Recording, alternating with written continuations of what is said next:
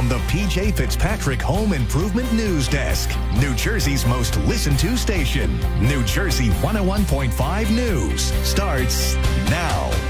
It's 5 o'clock. I'm Jill Croce, topping our report this hour. A Sunday fire in Bayonne killed a six year old girl and displaced several people, according to officials. The Hudson County prosecutor says firefighters responding to the fire in the two story building on Avenue C around 11:40 p.m. found an unresponsive girl on the second floor. The girl, identified as Sanaya Felton, was taken to Bayonne Medical Center, where she was pronounced dead around 1 a.m. The fire is not considered suspicious at this time. The IRS says some New Jersey taxpayers are receiving a notice of non payment, even though they paid their 2023 federal income tax. Chief Tax Information Officer for Jackson, Hewitt Mark Steber, says it happens. The IRS can be wrong. There can be a partial mistake. Maybe the tax is owed, but perhaps not the penalties or the interest. If you think the notice is incorrect, Steber advises not sending a check right away and instead contact the IRS, IRS or a tax pro about the issue. He also warns to be on the lookout for scammers. Gen Z is in debt. That's according to a new analysis from online marketplace Lending Tree. Among those living in the 100 largest metropolitan areas, the median percentage of Gen Zers with debt is just over 97%.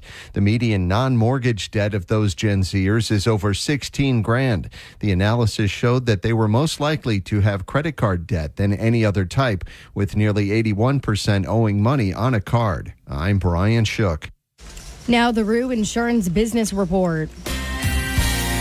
The U.S. Justice Department is pushing Boeing to plead guilty to criminal fraud in connection with two deadly plane crashes involving its 737 MAX jetliners. According to several people who heard federal prosecutors detail a proposed offer Sunday, Boeing will have until the end of the week to accept or reject that offer.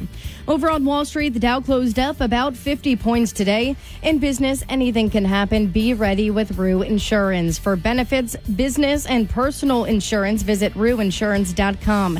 NJ1015.com is your source for breaking news. Download our free app to get breaking news alerts sent to your phone. Our blue skies back for tomorrow. The complete New Jersey 101.5 forecast is coming up. New Jersey fast traffic in one minute. New Jersey 101.5 instant weather after a beautiful day today. We'll have a mainly clear sky tonight. Low temperatures will be in the low 60s. It'll be in the 50s in the northwest hills. Now, as we head through tomorrow, we'll have a good deal of sunshine. It will be warmer, but still the humidity is going to be pretty low. High temperature will be in the low to mid 80s tomorrow and clear to partly cloudy as we head through tomorrow night. The lows will be within a few degrees of 60 and partly sunny on Wednesday. Highs will be in the mid to upper 80s. It'll be in the upper 70s at the shore. Independence Day on Thursday We'll have clouds and sunshine. There will be a thunderstorm in spots during the afternoon, especially across central and north Jersey. At this point, though, it looks like a lot of the day on the 4th will be dry. Highs 85 to 90, low 80s at the shore. From the Edison Heating and Cooling Weather Desk, I'm meteorologist Brian Thompson. Right now in Hackensack, it's 80 degrees. New Brunswick, 81. Evesham, 80. Fast traffic and instant weather every 15 minutes on New Jersey 101.5.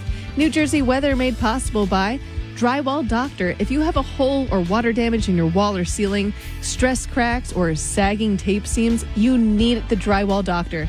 No job is too small for their skilled repair crew, and they offer a fast turnaround and, craft- and craftsmanship guarantee.